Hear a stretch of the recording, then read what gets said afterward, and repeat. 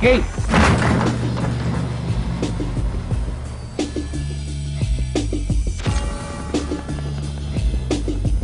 In March of 1991, rapper Slick Rick was convicted of attempted murder in the second degree and weapons possession. He was later sentenced to serve three and a third to ten years in a New York State penitentiary for shooting at his cousin and one time bodyguard Mark Plummer and injuring an innocent bystander. Rick, who in a separate incident was shot at a Bronx social club weeks earlier, alleges that Plummer had threatened his life and that he fired at him out of fear.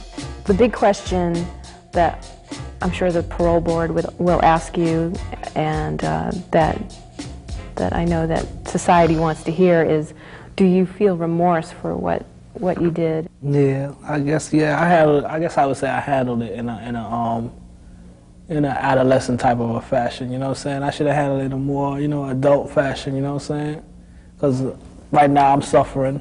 My son is suffering. You know what I'm saying? I could be out there. I could have five years of my life went to waste, you know what I'm saying? So I definitely have remorse. You know, I show, I, I spoke to the, because an innocent bystander also got hit in the foot when I caught the case, you know what I'm saying? So me and him been on good terms now, you know what I'm saying? I spoke to him, told him, you know, that didn't mean, you know, you know, what happened to happen, you know what I'm saying? Do you know where you're going to?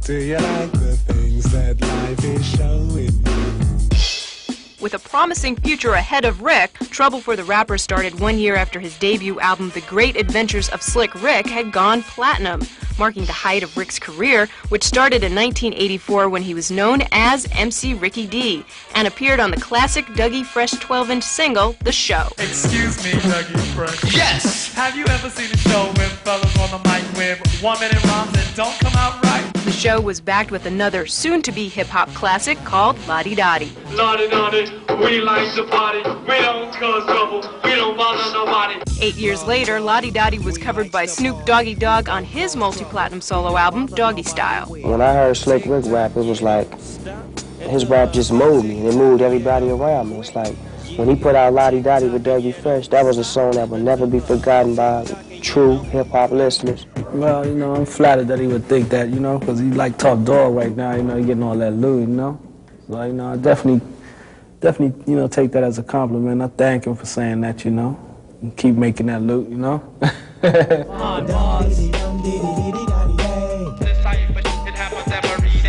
What was the response when you first started serving your sentence? What was the response by fellow inmates? Slick Rick is in there, Slick Rick is in there, yeah, yeah, yeah. You know, you know, you got a lot of smart mouth. You can't curse, right? You hear niggas saying all type of smart mouth stuff. You know, yeah, we gonna, we gonna rob him, we gonna do this, we gonna do that. You know what I'm saying? But after a while, all that died out. You know, that was just scare, intimidation type stuff. You know what I'm saying? Then you know a lot of people start showing you love. You know what I'm saying? You know, because you know they family know you. You know they want to take pictures or whatever. You know, sign autograph here, there. You know what I'm saying? It's all right though. The atmosphere is not as bad as I would have expected it to be. It has its ups and downs though, you know. So, what advice does Rick have for fellow rappers Dr. Dre and Tupac Shakur, who are both facing the prospect of doing time behind bars? You gotta overlook a lot of smart mouths. You know what I'm saying? Because a lot of people gonna say smart things to you and try you, etc., etc. You know, keep yourself humble. Don't try to get flashy in jail. Ain't nobody in jail to be trying to impress. You know what I'm saying? There's gonna be a hundred people saying they want a record deal and they wanna, you know, what do you think of this record? What do you think of that? You know, just take it in stride. If you can, you know, you can help them, you know, tell them, you know, give them phone numbers to go this way, that way, whatever the hell, you know what I'm saying? You locked up just like they are. And that's it, you know?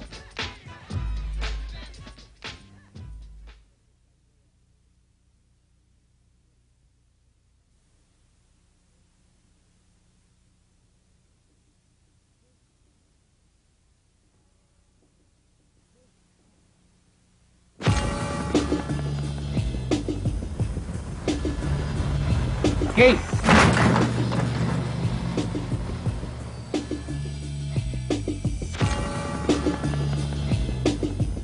What is a day in the life of inmate Rick Walters like? Let's see, get up about 7 o'clock, go to breakfast, come back 8 o'clock, go to work. I work in a state shop right here. You know, like folding clothes, washing clothes, stuff like that. Then at about 11 o'clock, we go back to the house to eat lunch. 12.30, we go back to work. 3 o'clock, we finish work, we come back. and the rest of the day is yours to do whatever you feel like. Is there a dress code that you have to wear a certain thing every day? Well, you have to wear your green pants. You have to wear your green pants. You can wear any shoes, any shirt, eh, and any, uh, you know, but it has to be certain colors. You know, it has to be plain. No, no designs, no different colors in it. Just one solid color. Everything got to be like one solid color. Check this out, this Warren G, you know what I'm saying? Chilling with my man Slick Rick, you know? And we're gonna give y'all a little tale about that jail stuff, you know? So, Rick, why don't you run it, homie? Lyrics featured on the title track of Rick's third album, Behind Bars, contains vivid descriptions of some fictional and real-life jailhouse experiences, such as fights among inmates over the use of the telephone. Neither phone me to another sprang up. To gang on this kid house in the phone like he didn't know how to hang up. The telephone in jail is like diamonds, you know what I'm saying? It's like everybody wants the phone, you know what I'm saying? And you can get hurt over the phone, you can get killed over the phone, you can get a permanent scar over the phone. It's, it's wise when you come to jail, you know, not to really sweat the phone, you know? What about the sleeping arrangements? It's, is it more like um, army barrack? Yeah, in this jail, it's like um, you have like 50 beds in a, in a space like this, section off in like cubes that come to like about, the wall is like about this high. You know for sure that you are still facing another year here. Do you look at a calendar every day and say, okay, I've got 300 days left, or I mean, how do you face that? Well, I know I got another year left at the most, hopefully. I just look at it, I just take it one day at a time. I look, I look forward to littler things, you know what I'm saying, like the weekend. Well, what happens on the weekend? The weekend, you know, you get to, you don't got to go to work, get to watch TV, you know, they got, they bring on movies and stuff. Last week we saw Menace II Society. Straight up minutes. And um, the Madonna movie, Love or Truth or Dare, that's it.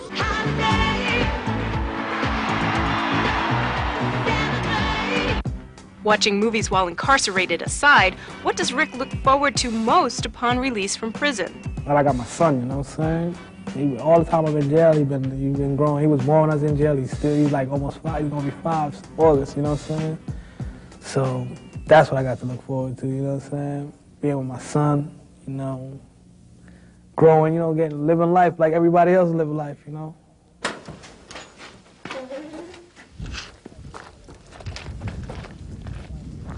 I just tell everybody out there, you know, try to stay on the, the, the legal side of the law, you know what I'm saying? Because this ain't the place.